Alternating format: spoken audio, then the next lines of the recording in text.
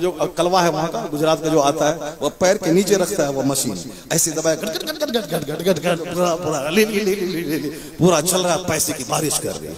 पैसे की बारिश लोग कर रहा है। ए बाबा, ए बाबू देखो, भाग रहा है, भाग रहा जा रहा जा रहा वो पढ़ता रहा दिलभर ना तो कोई नहीं कोई नहीं भागा। एक नाथ और सुना दीजिए, एक नाथ और सुना दीजिए। यहाँ अभी ढेर आदमी होगा जो अंदर से बोलता जल्दी खत्म करे, मौलाना के जल्दी भागा सही बात मैं कह रहा हूँ। बहुत से लोग कह रहा हूँ जल्दी खत्म करे कि जल्दी से भागा ये तुम्हारा दिल बर्बाद हो गया है। दिल तुम्हारा सख्त हो गया है। इस जो बर्बाद होता है, वो बर्बादी को पसंद करता है। जो बेनमाजी होता है, वो बेनमाजी को पसंद करता है। जो इल्म वाला होता है, वो इल्म वाले को पसंद करता है। जो तकवा वाला होता है, वो तकवा वाले को पसंद करता है। जो जन्नती होता है, वो जन्नत जाने वाले को पसंद करता है। जो खुद जहन्नमी हो वह जहन्नमी को पसंद करता है। जो खुद बेनमाजी हो, बेनमाजी को लाइक करता है। क्योंकि आज बेनमाजी ज़्यादा है, इसीलिए बेनमाजी। तुम लोग पाबंदी लगा दे कि हमारे जलसे में वो शायर नहीं आएगा जो नमाज़ नहीं पढ़ेगा। नमाजी शायर आएगा, पाबंदी लगा दे। कोई खतीब नहीं आएगा जो बेनमाजी हो, वो नहीं आएगा। नमाज़ पढ़ेगा, तब आके अल्लाह रसूल की बात बोलेगा। वरना एक टाइम नमाज़ नहीं पढ़ेगा और वो आके बोलेगा कि नमाज़ पाँच वक्त पढ़ना फ़र्ज़ है। वो उसकी उसकी बोली में क्या होगा? और वो नफाक पैदा होगा। उससे सीना सख्त हो जाएगा। और जैसे चूँकि चूँकि तुम पे नमाजी है इसीलिए बेनमाजी शायर को पसंद करता है। तुमको हदीस कुरान का इल्म नहीं है इसीलिए वह सूखी भी बात वो नात है जो नात एक घंटा दो घंटा नात पढ़े आदमी। नात है वो बेकल अजमल पहले पढ़ता था। मुफ्ती आज़म हिंद की मौजूदगी में पढ़ता था। पाँच शेर पढ़ के बैठता था। पब्लिक कहती थी कि एक शेर और सुना लो सुबह यहाँ तो ज़बरदस्ती लोग बोझ बने रहता एक एक घंटे तक वो छोटका छोटका नाथ का जो गाँव देहात का है, वो भी लंबा जुब्बा पहनेगा जो जुब्बा से बाल पहनता है। वो भी जुब्बा पहनेगा छोटकनिया नाथ का। और ये भी साहब गुटका खाएगा पुड़िया फाड़ेगा ऐसे डालेगा। गुटका खाएगा, जवानी में बूढ़ा हो जाएगा। गुटका खाएगा, सीना जल जाएगा।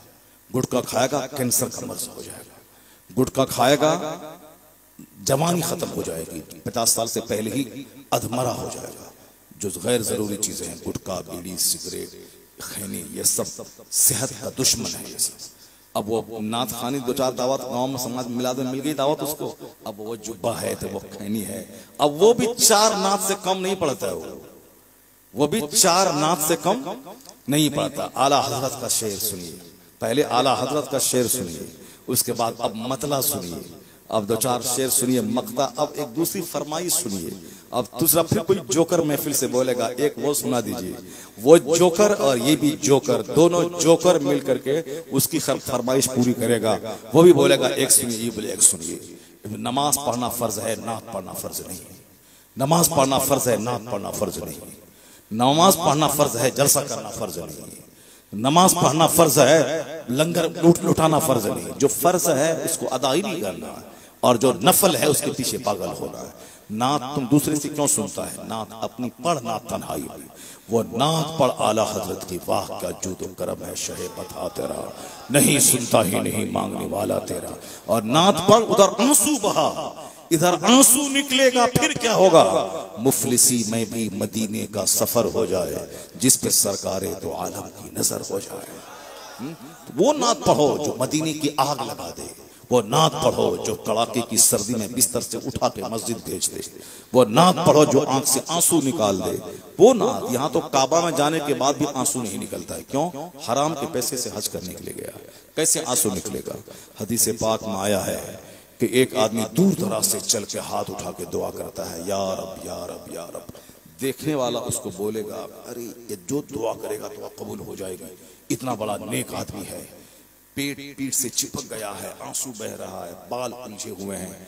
दूर दराज से चल के थका मारा आया है। जो बोलेगा, दुआ कबूल कर लेगा। मगर मुस्लिम शरीफ हदीस से मुफ्ती साहब बैठे हुए। अब हुजूर ने क्या फरमाया? अन्ना युस्तजा। कैसे दुआ कबूल होगी? कैसे दुआ कबूल होगी? हुजूर कहते हैं, आँसू के रास्ते से बैठो भाई, एक नाथ और पढ़ाइए, माँ वाली पढ़ाइए, अब्बा वाली पढ़ाइए। तकरीर कौन सुनेगा कुरान कौन सुनेगा? सारी ज़िंदगी जाहिल रहेगा सारी ज़िंदगी जाहिल रहेगा। खुद बेनमाजी और बेनमाजी का झोला ढोएगा। खुद फैज से महरूम और जो फैज से महरूम है उसका झोला ढोएगा उसका झोला ढोएगा जैसा जैसा रूह वैसा फरिश्ता जैसा बताशा वैसी फातिहा जैसे ही बताशा वैसे ही फातिहा ये बाप को सुना दीजिए माँ का सुना दीजिए दादा को सुना दीजिए एक औरत का नाम सुना दीजिए अपनी मर्ज़ी से सुना दीजिए हैं ये तो फरमाइश से और अब अपनी मर्ज़ी से सुना दीजिए अब नया कलाम सुना दीजिए पूरे जलसे को खा जाइए जाकर नाथ सुनने का शौक था तो सारी कुर्सी भरी रहनी चाहिए नाथ सुनने के बाद भरी रहनी चाहिए। नाथ सुनो अब तकरीर सुनो। तकरीर सुनो? नहीं नहीं सुनो। उजड़ जाएगा। ईमान जो सीरी में बहुत बड़ी नेमत है वो दौलत चरमरा जाएगा। ईमान की हिफाजत के लिए आलिमों की जियारत ज़रूरी। ईमान की हिफाजत के लिए कुरान हदीस सुनना ज़रूरी। ईमान की हिफाजत के लिए आलिम दीन की सोहबत में चंद लम्हे गुजारना ज़रूरी। पहले लोग दो चार दिन आलिमों की पास रहे। उनके पास हदीस सुने। नहीं, अब साहब क्या है कि आलिमों की मौजूदगी में अब खवाली सुन रहा ना सुन रहा माँ सुना दीजिए, बाप सुना दीजिए। माँ सुना दीजिए, बाप सुना दीजिए, चूँकि पैसा खर्चा हमने किया है। नहीं, पैसा खर्चा नहीं सुनाएगा तो पैसा नहीं देंगे, नजराना काट लेंगे। ये सब तमाशा हो रहा है। चलो, जैसे तुम, वैसे तरह सुनाने वाला। तुमको बाओ जाओ जहाँ पैसा लाओ, तीस हज़ार, बस। अपना काम, गाड़ी, मकान, तुम जाओ मर हो के तुम जाके बेनमाजी रहो के जहन्नम जाओ, हमको से क्या मतलब? पैसा लाओ, मेरा काम बनाना चला। बस हो गया, जैसा, जैसी सोच उसकी, वैसी सोच तुम्हारी, जैसे उसकी। वरना अगर नाथ से प्यार है तो नाथ से हज़ारों गुना ज़्यादा मुस्तफ़ा की बात से प्यार होनी चाहिए। अल्लाह के कलाम कुरान से प्यार होना चाहिए। तब है वो ना, तब है वो महफिल। हाँ ये देखिए, अभी बदर में गर्मी आई है इनकी। तभी सारा सब कुछ लुटा दिया वहाँ दिलबर पे। और जो बचा हुआ दस टकिया वाला नोट ये अभी दे रहा सब लुटा दिया दिल दिलबर पे। पूरा शायर बन, शायर बने फ़ायदा था मुखरिर बन गए, शायर बनते तो कम से कम नात पढ़ते। और तीस, चालीस हज़ार पे नजरना भी मिलता, चालीस हज़ार छूट। फिर क्या होता, तीन दिन के अंदर में साहब कार खरीद लेते, मकान बना लेते, सब बना लेते। इसीलिए आजकल सब नाथा बनना चाहता है। और एक नाथ से पेट नहीं भरता, चार नाथ पढ़ता है। एक नाथ पढ़। अगर पब्लिक को अच्छी लगी तो सारी पब्लिक खड़ा होकर बोले कि एक नाथ और सुना दे। एक नाथ और सुना दे। ये होना चाहिए नहीं बिला वजह। चार बोझ बन करके पाँच नाथ छह नाथ आवाज़ है फटी हुई। बाँस की तरह चिल्ला रहा है और बोलता है कि साहब, ये बहुत बड़ा शायर है। आवाज़ इतनी सुरीली हो। कभी कभी हम लोग सुनते हैं, गाँव देहात का बच्चा इतनी खूबसूरत आवाज़ में नाथ पढ़ता है तो दिल मचल जाता है। देखने का मन तेरा चेहरा मन जाता है। कैसा कौन नाथ पढ़ा था साहब, वहाँ फटी बोलना, अब सारा क्रेडिट उस माइक वाले पे जाता है। तुम ऐ करो, ऐसे करो बेस ठीक करो ठीक करो। और साउंड डालो, ई को बढ़ा थोड़ा सा, यू को कम कर दो, यू को बढ़ा दो। अब वो वो जो कलवा है वहाँ का, गुजरात का जो आता है, वो पैर के नीचे रखता है वो मशीन। ऐसे पूरा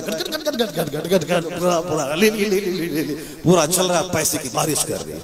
पैसे की बारिश लोग कर रहा है। ये सब क्या ड्रामा कर रहा है? जलसा जुलूस में, है? क्या सब ड्रामा हो रहा है? अपना साउंड लेकर आना, इसे दबाना, पूरा हंगामा खड़ा करना।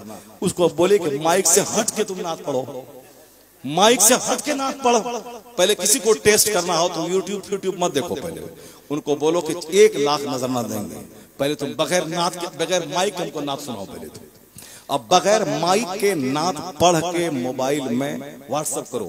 तब तब तब हम सिलेक्शन करेंगे। तब फिर समझ में आ जाएगा कौन कितने पानी में है। बगैर माइक के जहाँ पढ़ेगा तो पढ़ ही नहीं पाएगा वो। जैसे फ़िल्म की हीरोइन के बारे में एक बार स्टेटस आया था कि फ़िल्म की हीरोइन को अगर आप आम दिनों में देख लें तो चेहरे पे थूकने का मन करेगा। चेहरा उसका, उसका तो बाजाबता एक एक लाख पे महाना देकर मेकअपर को रखा जाता है जो मेकअप करवाता है उसका। दो दो तीन तीन घंटे तक मेकअप करवा के ये ये फला चिला नाक अगर चौड़ी भी है तो उसको लंबा करना और चेहरा काला भी हो तो उसका गोरा कर देना। वो सब करने वाला उसका बाजाबता टीम चलती है उसकी। चार घंटे तक मेकअप करवा, तब वो स्टेज पर आकर के वो स्टूडियो में अदाकारी करती है, तब उसी की फ़िल्म बनाई जाती है बड़ी खूबसूरत हीरोइन है। और उसको अपनी असल हालत में जब वह सो के उठती है, उस हालत में देख ले तो कोई उसका नाम तक नहीं ले। थूक दे उसके चेहरे पे। ऐसा होता है। उसी तरीके से ये गवैया किस्म का आदमी होता है। वो कमाल उसका होता है, वो इको साउंड का। और उससे हट के वो गा ले, फिर समझ ले क्या हो तो हमारे ओलमा है। जो जुमा के दिन बगैर किसी माई के एक एक घंटे तक खिताब करता है। और जब खिताब करता है तो लगता है जैसे कौम का कोई कमांडर इन चीफ है जो फौज को ललकार रहा हो। एक बादशाह है जो कौम को खिताब करता है। ये हमारे मौलाना है जो बगैर माइक के मिलाद पढ़ते हैं। ये हमारे मौलाना है जो बगैर माइक के खिताब करते हैं। बगैर माइक को हटा दे यहाँ से वहाँ तक आवाज़ जाएगी और लोग हदीस कुरान सुनेंगे। इसलिए दिल नेक बनाओ तो फिर नेक आदमी को पसंद करने लगोगे।